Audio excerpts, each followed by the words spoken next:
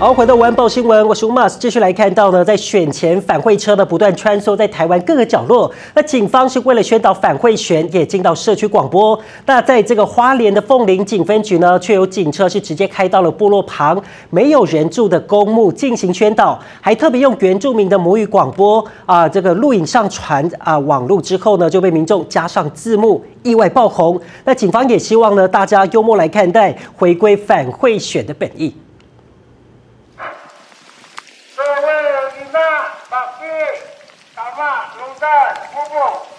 九二一全局十要，跟你们的子子孙孙讲，不要贿选，不要买票。我希望大家跟你出墓给你的小孩子，我不要违法。远景透过广播宣导反贿选，不过地点似乎有点怪怪的。不止地点很奇怪，难道远景还想要请祖先托梦抓贿选吗？过程也意外被民众泼上社群网络之后，立刻引起热议。民众觉得创意爆表之外，警方也立刻出面回应。我觉得蛮有创意的，然后也是新的方式啊。毕竟有些很信，就是很信那个祖先讲的话。本段影片内容是本分局凤林派出所远景进行反贿选宣导。行军墓园时突发奇想，以诙谐幽默的方式即兴发挥，并拍摄成影片分享给亲友观看。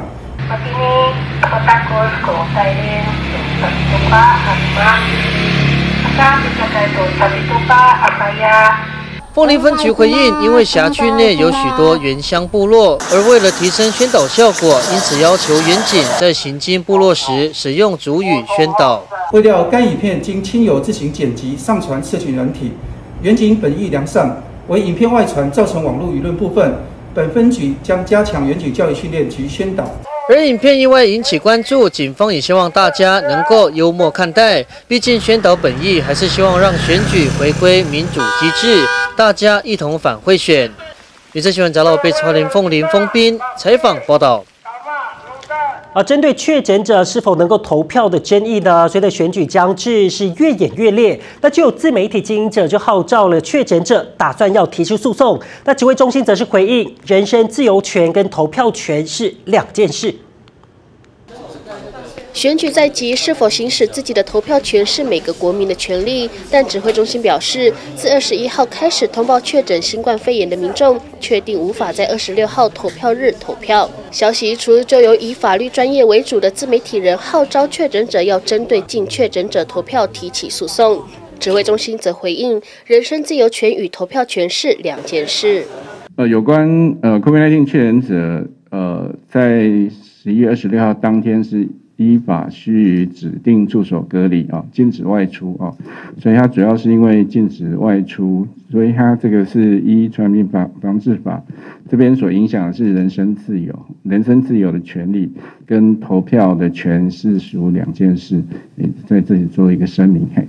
另外，针对口罩禁令的部分，二十三号指挥官王必胜在广播节目受访时透露，第一阶段口罩解除将于十二月初实施，言下之意就是选举当天户外活动仍需佩戴口罩。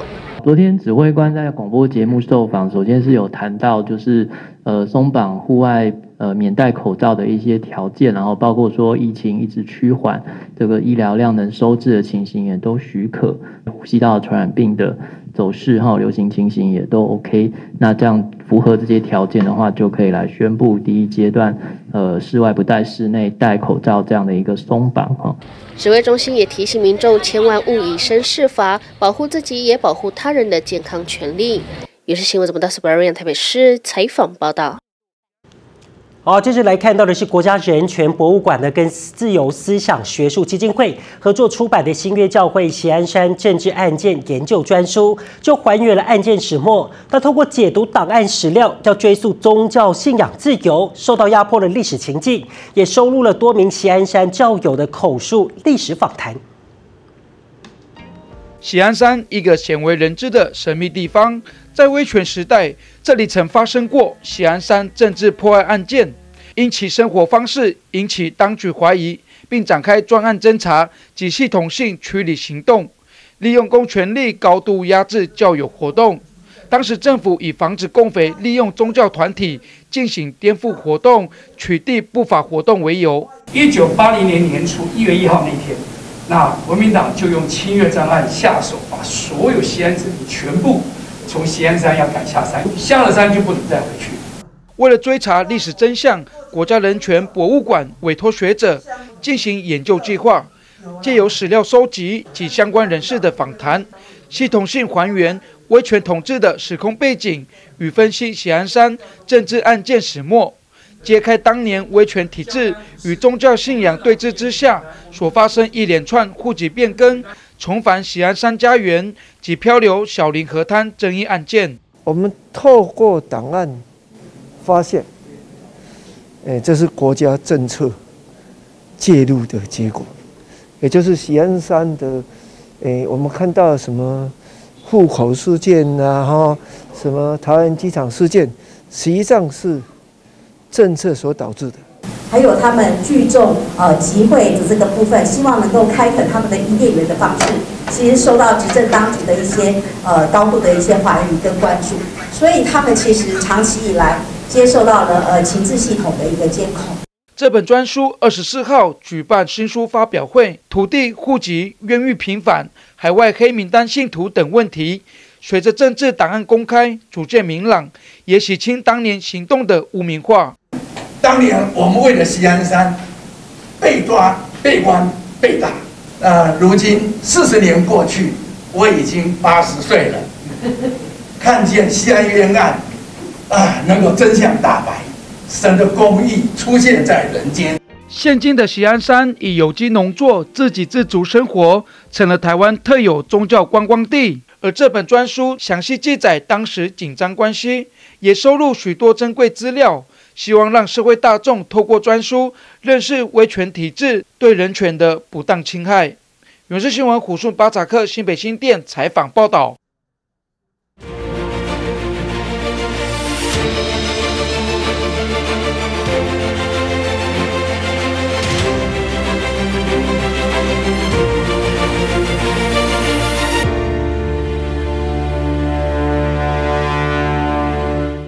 好，一起来关心呢。去年才陷入旱灾，在非洲西部地区呢，今年又遭遇了这个豪雨侵袭。那在查德以游牧为生的姆都马族呢，为了逃避洪水，是被迫展开数千公里的迁徙。而在这个迁徙的过程当中，牛只的健康也大受影响，直接冲击了这个牛奶的产量，让族人的生计是难以维持。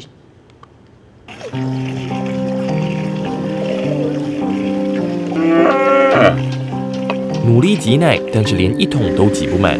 西非的查德去年才经历严重旱灾，今年夏秋两季却遭到豪雨侵袭。以游牧为生的布都马族群，为了逃离洪水的威胁，被迫迁徙数千公里，不但让牛群健康大受影响，泌乳量也严重减少。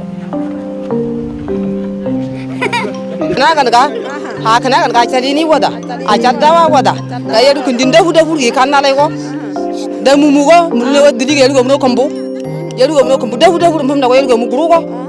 da da mana hmm ha kana kan ko da ko da filo ko da 目前这一家牧民与牛群虽然找到暂时的容身之地，但是这里并没有适合的牧草生长，牛只难以恢复元气，也让全家的生计都陷入问题。而在查德的城市，民众也感受到国内生产的新鲜乳制品越来越难找到，只能买品质比较差的进口产品。لبن عليه من برا راجنا لوكال نكونسوميدا احسن ذاته فريش شغل في جايز في مكانه بس مو شغل يجي من برا في كونتينر مكان راجع اخر يشيل كومين دي موا في كونتينر في باتو يجي في دوان في دريب ça prend beaucoup de temps, il y a des conséquences am utiliser pour la cave de consommation mais chocolat dakhal local là sur place c'est quelque chose qui est frais هذا بس جاي fabriqué داخل وشغل فري وديركت القى هذا اصل لنا 受到气候变迁的影响，近来全球降雨有极端化的趋势，旱灾与水灾都越来越常见。 这样的天灾不但常常让以农业与畜牧为生的民众血本无归，更会危及各区域的粮食供给，甚至可能造成饥荒。在全球努力减缓气候变迁的同时，这些粮食安全脆弱的区域也必须获得关注与支援。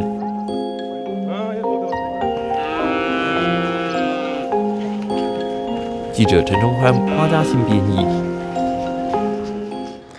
而通称为野米的菇米呢，是生长在北美跟中国可食用的植物。而在美国五大湖区的原住民欧基贝族呢，就把这个菇米看得相当的神圣。但在气候变迁、入侵物种跟环境污染等威胁之下，不止菇米的收成，连文化传承都受到了挑战。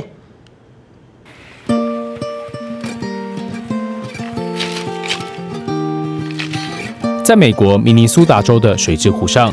一人划着扁舟，一人拿着木棍采收谷米，这是五大湖区原住民族的主要食物之一，并且对欧吉贝族来说，谷米相当神圣，因为这种谷物在欧吉贝族的诞生故事中占有重要地位。Our people, Anishinaabe people, used to live on the East Coast, and someone was given a, a, a vision to travel west. To where the food grows on the water. And so we did. And we came out here to this Monoman. 谷米在 Ojibwe 族语中称为 Menomen，是美好果子的意思。这种水生植物让 Ojibwe 族人在寒冬中免于挨饿，但现在受到气候变迁、外来物种入侵和环境污染等影响，谷米收成下滑，对 Ojibwe 族人生活造成一大威胁。a big windstorm or hail or rain come through, we could lose a lot of the rice crop overnight. Or otherwise, like this year, we had a lot of high water, so the beds right now are uh, really thin. As you can see, the rice that we're in right now. 在八月中至九月中期间，谷米的采收期可持续一周或一个月。现在因为气候变迁而产生的极端天气， 迫使欧吉贝族人要随时抓紧机会采收，因为这些谷米不只能在餐桌上食用，贩售谷米也是生活收入的来源之一。How do I see the future? I'm hopeful, and we understand that we're supposed to think seven generations into the future and take care of this. Land for our children in the future because those they are sacred too. 当地公立的水之湖部落学院每年会有一周时间教导学生、教职员和志工采收及料理谷米，为的就是在面临气候变迁等威胁，还能把 Ojibwe 族人的神圣食物传承下去。记者戚海伦、华嘉欣编译。而入冬天气转冷，容易诱发脑中风。神经科医师呢就特别提醒，要把握黄金四点五小时。稍后一起来关心。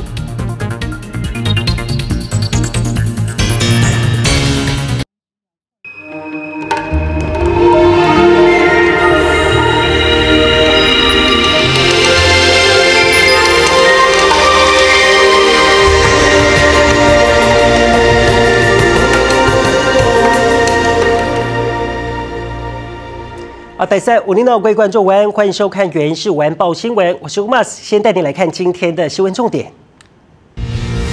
好，插旗原乡版图，国民党将触角延伸到屏东三地门乡长跟县议员选举，形成国民党跟无党籍双雄双输对决。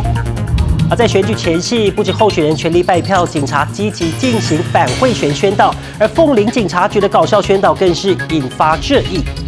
中国医药大学的企业职工队跟台湾世界展望会合作，开发绿色循环的鱼菜共生系统，让部落长辈的生活更轻松。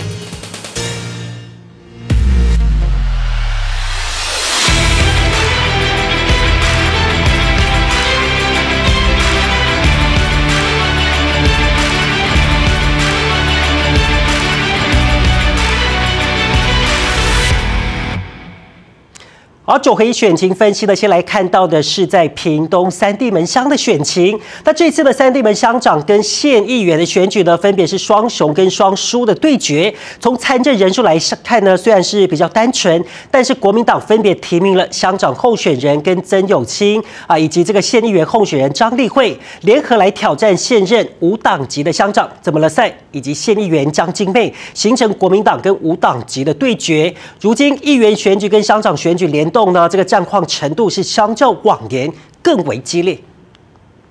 支持一号什么的赛一号江金妹，马里马里。九合一选举进入倒数时刻，同样寻求连任的三里门乡长陈乐散以及县议员江金妹，二十四号展开联合车队游行扫街拜票。陈乐散四年前从议员转战。顺利登上乡长宝座，任内改建办公厅舍，提升服务效率，并提出老年、幼童结婚及生育创新补助措施等政策。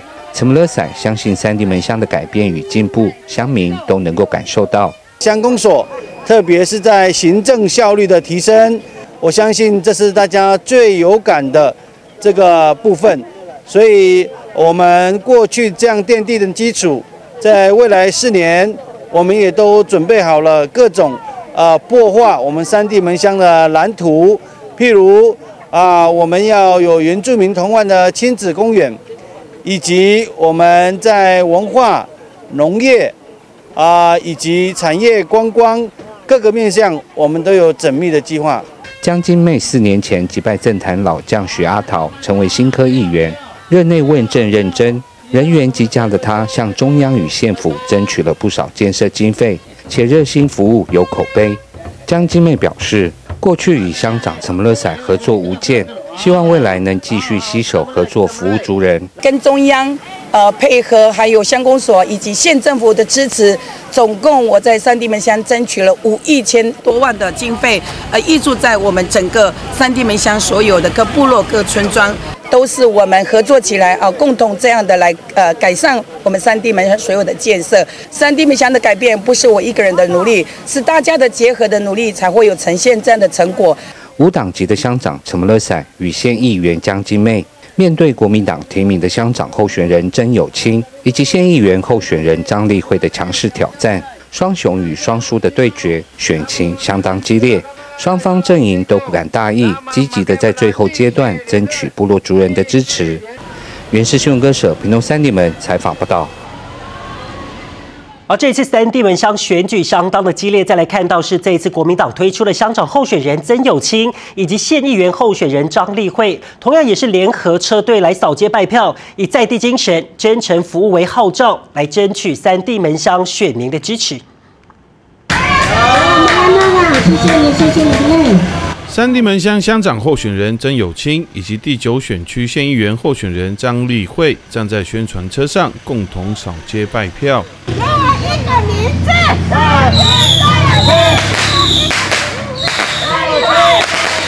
校长退休的曾有清担任老师校长期间，都在三地门乡扎根教育四十三年。十二年前曾经出来参选，并未胜选。这些年来储备能量，再次出发，希望三地门乡能恢复传统互助精神，让三地门乡更团结。我六十三年来都没有离开过三地门乡，我能够发挥我在教育界四十几年的行政经验，然后让我们的三地门乡。更迈向民主，迈向正义，迈向公平，迈向我们三地门乡所引以为荣的文化之乡的愿景，把我们传统的互相团结、排湾族、卢凯族分享的这种呃有情有爱的伦理，能够在参选的这一段路程上能够实践。现任三地门乡乡民代表张立慧是国民党代表。以代表身份服务乡亲十二年，致力协助部落弱势家庭及族人的社福工作，以真诚服务号召，争取选民支持。很多的族人哈，他们的建议就是说，既然你们两个都是呃国民党推荐的啊，不不妨就两个人一起出来。如果我有机会呃进到议会的时候，我相信会帮助更多的人，我会做更多的事情，我会争取更多的经费来帮助我们三地门乡的乡亲以及我们的公所，所以我想要服务范围更广大。选举日在即，两位候选人呼吁选民回归选举的本质，选贤与能，不受任何影响，投出神圣的一票。原新闻巴朗，屏东三地门抢不到。好，继续来关注的是台东太马里金针山呢，有一位蒋姓民宿业者来到台东地检署按铃申告，要控诉金峰乡长候选人宋贤一指使黑道跟他拿钱，并且保证的给钱之后就可以保有民宿建筑。结果违建的民宿房子呢，却还是被公所强制拆除。蒋姓业者在愤怒之下呢，是决定出面揭穿真相。而遭到指控的宋贤一呢，也出面回应，表示他跟蒋姓业者只是一般朋友，并且强调了四年前是因为选举曾向蒋姓业者借三十万元，但是呢，已经都连本带利还清，所以怀疑呢这个不实指控是刻意想要影响选情，将会对蒋姓民宿业者来提告，意图使人不当选。台东金针山一位蒋姓民宿业者，二十四号到台东地检署按铃申告，控诉金峰乡长候选人宋贤一长期指使黑道向他拿钱。他说我要选举，我需要用钱快一点。我说乡长，我求他，我说乡长，我真的没有钱了，我也不是做什么，我说这个很辛苦，我没有钱了。他就说你赶快准备，就这样子。我说我真的没有钱，我要怎么筹备？能不能慢一点？证据全部都有，总共三百万。蒋姓业者表示，自己在金针山经营民宿多年，因占用元宝地遭法院判定强制拆除。当时担任金峰乡长职位的宋贤一却向业者表示，只要给钱，拆除工作就能暂缓，并透过白手套向业者索取三百万。不料民宿却在今年八月被强制拆除。蒋姓业者愤怒之下，决定出面揭穿真相，而宋贤一当天也出面回应，指出业者指控绝非事实。我当时就跟他讲，我没有能力处理，因为告诉人是联民会，不是乡公所。当时的检调单位就绝对在查办这个事情，而不是现在才轮到蒋小姐来做这个指涉。所以我觉得这个是选举操作，根本就是想影响我。使我当不有意使我不当选。宋贤一表示，他跟蒋姓业者只是一般朋友，并强调四年前曾向蒋姓业者借贷三十万元，但已经连本带利还清，将针对业者不实指控提起诉讼。而如今案件已进入司法程序，到底真相如何，还有待司法理清真相。原视新闻本台的台中市采访报道。而花莲地检署侦办查查贿选呢，就发现幽灵人口逐渐增多。那为了端正选风，这地检署呢将会寄发通知书给幽灵人口的涉及地，那就呼吁这些投票人呢，如果是为了支持特定候选人迁户籍，也没有实际居住在迁移之后的户籍地呢，需要考虑清楚是否要前往投票，以免触法。随着投票日逐渐接近，各地区的选票差距也越来越接近。而幽灵人口迁入户籍投票，也可能会影响开票的结果。因此，检方也在掌握相关事政之后进行侦办。接下来，我们听听地检署的稍早说明。十一月十八号，哈，侦查终结了两件幽灵人口的案件，哈，一件在这个花莲县卓溪乡古峰村，哈，有三个被告。哦，另外一件在这个花莲县凤林镇长桥里，哈，有九位被告。经过调查发现，目前已经有九百六十八件可能涉及幽灵人口的案件。警方也表示，全台湾幽灵人口案件中，又以花莲的情形最为严重，主要都是户籍迁入后，人却不在当地居住，尤其是在花莲辖内的部分选区，选举输赢可能就在几票之间。为了避免犯罪，将会对这些幽灵人口的涉及地寄发通知信，期盼能够透过善意。提醒呼吁选民自我审视。迁移户籍以后，你也没有实际到你迁徙的那个户籍地、新的户籍地居住的话。那事实上是就有可能构成幽灵人口的一个犯罪行为哦。如果说你进一步投票的话，它就可能符合了刑法一百四十六条第二项的妨碍投票罪，处五年以下有期徒刑。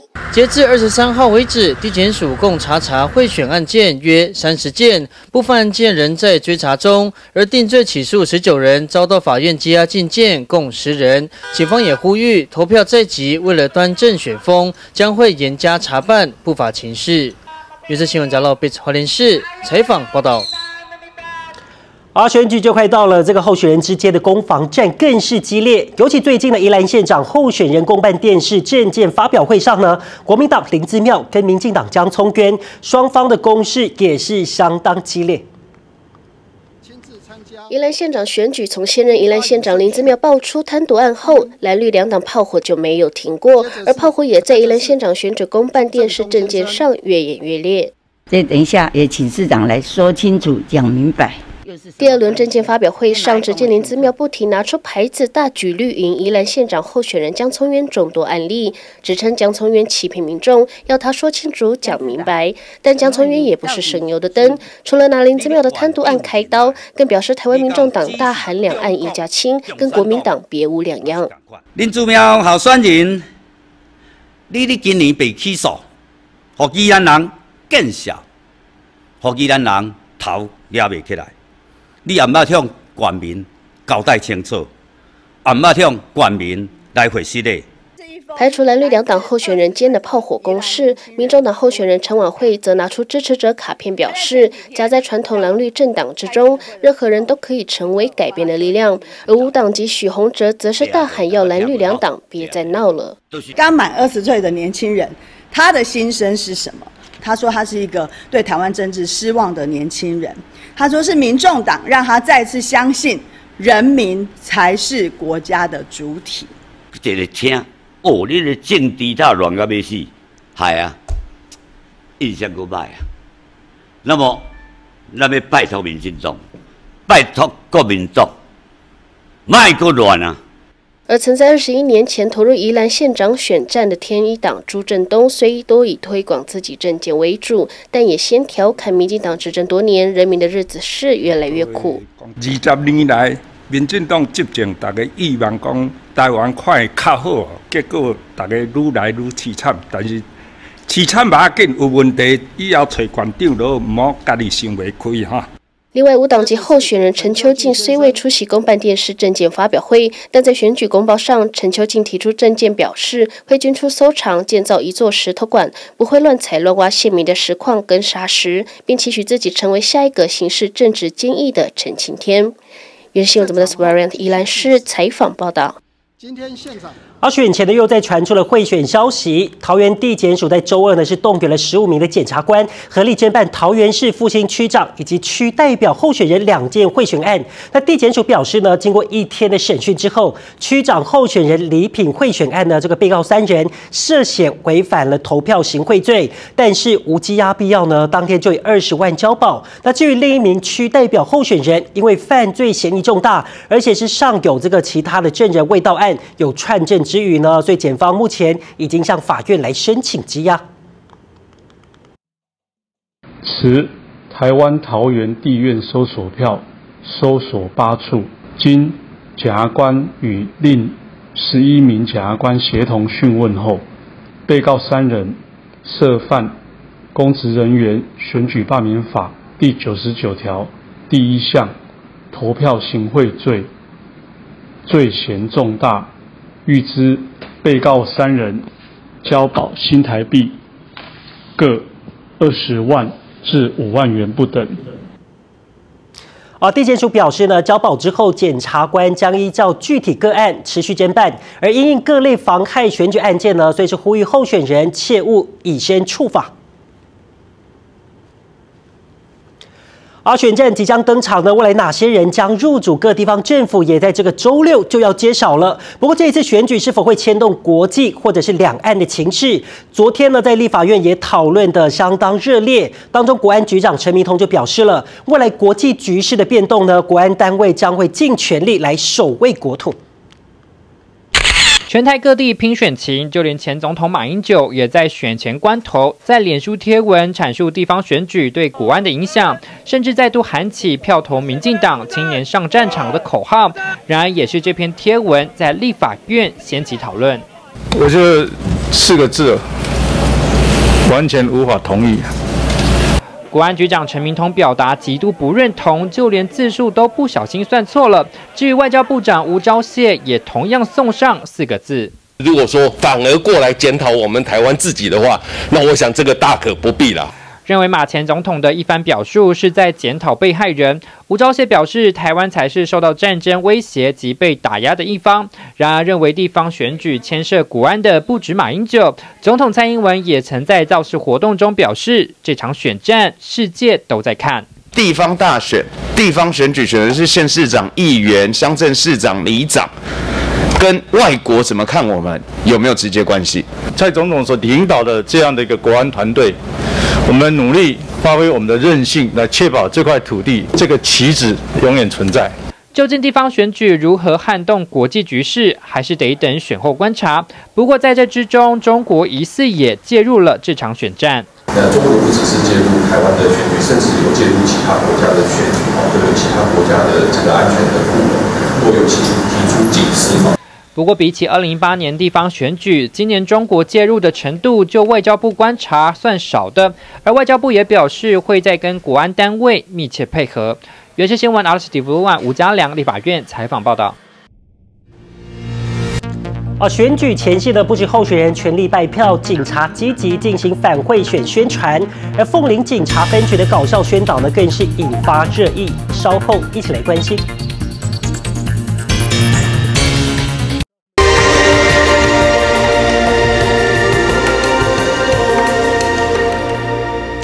好，回到晚报新闻，继续来关注呢。健保部分负担新制的要准备上路了吗？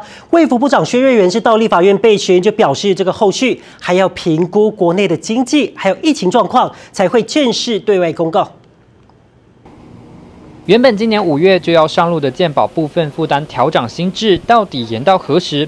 二十四号立法院再度关注，卫福部长薛瑞元表示，仍要考量两大面向，其中疫情趋缓已经逐渐符合调整时机，但现在卫福部要看的就是国内的经济状况。但是国内的哈这一些哈这一个经济的哈情况是否呃能够强力的反弹？那这个我们还在观察当中。所以，哈，这个目前我们还没有决定，呃，那个实施的日期，但是或许在今年底，或许在明年初。卫福部松口要调整，不是今年底就是明年初，而调整项目就包括门诊药品、检验检查及门诊等等。但就有外界质疑，新制上路到底对健保财务有无益助效果？事实上，如果说依照现在规划的部分负担呃新制哈，那上路的话，一年大概就是影响的财务大概就是接差不多在一百亿元左右了。是，那对整个健保来讲的话，它。这算是杯水车薪了。不过我们主要就推动这个不负担薪制，主要是说要让民众有一个费用的意识，还是要提升国人珍惜医疗资源的观念。但对于一些弱势群体，薪资调整中也纳入考量。比方说那个三地离岛啦、重大伤病啦、分娩、分娩啦哈这些，以及有其他 其他单位补助的低收入户啦、农民啦，这些都不会受到影响。无论怎么调，健保财务近年受到高度关注。卫福部长也表示，新制上路后，也已规划开源节流方案，期盼填补健保缺口。有些新闻，R S T V One 立法院采访报道。啊，最近天气转冷，容易诱发脑中风，尤其三高患者呢，更是高风险族群。那神经科的医生呢，就特别提醒了，要把握黄金四点五小时。讲话有进步嘛？哈，对对对，好嘞，那我再做个测试一下，来，两手伸直，哎，看一下力量有没有恢复。六十八岁的男性脑中风患者日前在家发现右腿麻木、右侧肢体无力，还伴随有口齿不清及语言障碍，送医诊断为急性梗塞性中风，所幸在时间内给予血栓溶血剂治疗，出院后几乎完全恢复。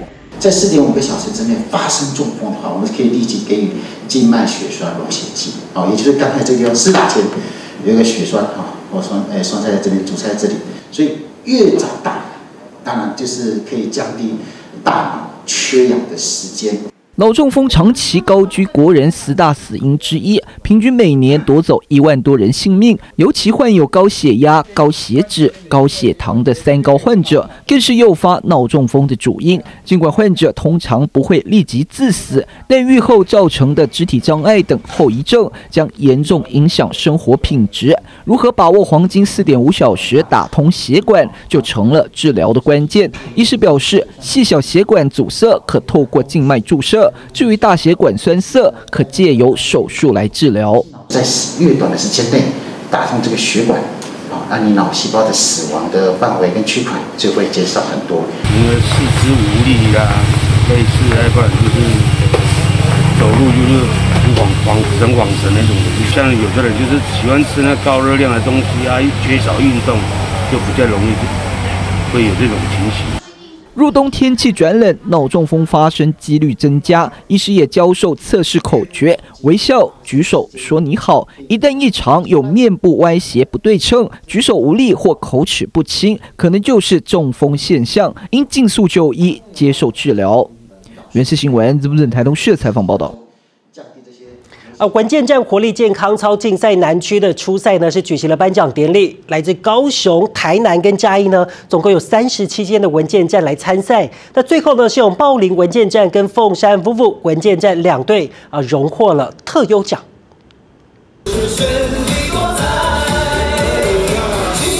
长者跟着节奏一起舞动，原住民长照文件站活力健康操竞赛南区初赛，二十四号在嘉义举行颁奖典礼。高雄、台南、嘉义总共三七间文件站参赛，最终由茂林文件站及凤山布布文件站两队荣获特优奖。我们是老人家，呃，不是那么的灵活，可是老师一直教我们、教导我们，我们还也还是很努力的在学习，所以我们很快乐。哎，我们跳这个舞真的是很快乐的，长辈们都很主动，也很积极，就是每天都要练习呀。然后有时候我们要懒惰的时候，老人家会骂我们，所以他们比我们还要更积极。那呃，其实他们也是非常的努力啦，对，所以才能够得到这次的第一名。因受疫情影响，活力健康操竞赛仅分区举办，并且南区也采预先录影的方式进行。但长者们在熟悉的场地演出，表现得也更自然，也呈现不同族群的风格特色。好，比如说他们有的在他们的部落里面，也有在他们的森林里面，也有在他们的每天的活动的一个活动中心里面，然后他们每一个人。每每一个队伍都把他们每一个地方的特色都充分的表现出来，展现出了他们的活力。活力健康操南区初赛有近千名部落长者及族人参与，长辈们也展现不输年轻人的热情活力，达到延缓失能、营造乐谷环境。原新闻的部嘉义太保采访报道。好，在部落呢，有许多长者想要下田耕作，却是受限体力。为了让他们能够自给自足，中国医药大学附设医院企业职工队呢，就跟台湾世界展望会来合作，把这个绿色循环的鱼菜共生系统捐赠给台中和平区的桃山部落，要带领部落学习这一项环保耕作，也让部落长者的生活更轻松。二三起呀！拉开布幕，台中和平区桃山部落鱼菜共生示范区正式启用，也由部落头目带领大家为这套鱼菜共生系统祈福，同时也向中国医药大学企业职工队以及世界展望会表达谢意，感谢他们捐赠这套系统，开启部落生活自给自足的新契机。一般的传统的话是要拿锄头哦，要翻土，对老人家来讲，他是真的是负担比较重，但是经过鱼鱼菜共生这样的一个方式。它其实是用电力电力来取代取代人力，然后他们其实只要来准时看一看，来喂一喂，其实，在上面种一些小菜，其实都已经都够了。我们从现在开始到以后，我们用可以用这种的方式来去教我们做的那个种菜的肥料了，还有农果树的，所以这个对我们农人，呃，农业方都很大的帮忙。有鉴于部落人口老化，老人下田耕作有困难。中国医药大学企业职工队和世界展望会合作，将鱼菜共生系统引进部落使用，希望通过这样的绿色循环机制，除了带给部落发展农业的新技术，也让部落长辈种菜养鱼可以变得更轻松。运用鱼的排泄物，然后成为植物的养分。那加接接着呢，是借由系统自动的运作，然后省去了日常的浇灌，然后也可以让植物得到水养分。在桃山部落满满的阳光，然后滋养着这些植物，让它能够成为很好的一个食材。也希望未来如果鱼菜共生有这个有好的蔬菜哦，然后鱼长大之后，是不是也能够关心这个部落里面比较特殊的这个老人哈，自己孤苦无依的老人？这次除了捐赠设备外，也教导部落族人如何管理设备与维护。中国医药大学企业职工队表示，未来部落如有更多的需求，会再导入这样的资源，帮助部落长者生活获得改善。原是新闻漏台中和平采访报道。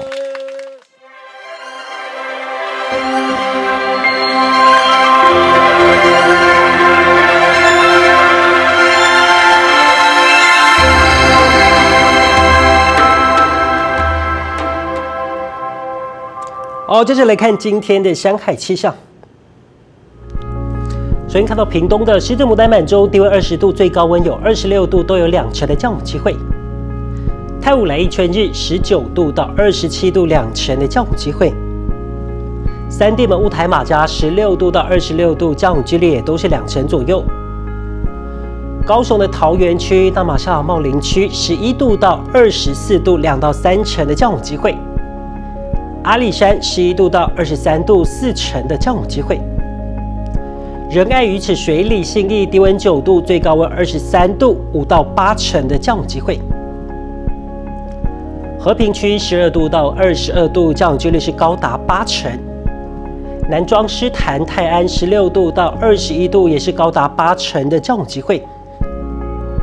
关西间十五峰十二度到二十一度，八成的降雨机会。新北乌来桃园复兴十五度到二十一度，高达八成的降雨机会。大同南澳十七度到二十三度，五到七成的降雨机会。新城花莲市吉安二十二度到二十五度，三成的降雨机会。秀林万荣十六度到二十四度，三到四成的降雨机会。寿丰丰滨十九度到二十七度，降雨几率是五到六成。凤林光复瑞穗二十一度到二十五度，三到五成的降雨机会。卓西玉里富里低温十度，最高温有二十四度，三到六成的降雨机会。长滨成功东河二十二度到二十五度，两到六成的降雨机会。池上关山海端延平十五度到二十四度，两到三成的降雨机会。鹿野台东市卑南二十度到二十六度，两成的降雨机会。太马里到金峰达人十八度到二十六度，两成的降雨机会。南屿地区二十三度到二十七度，三成的降雨机会。最后看到外岛地区十七度到二十三度，降雨几率最高有八成。而以上就是今天的晚报新闻，感谢您的收看，我是吴马斯，我您呢，美和米上。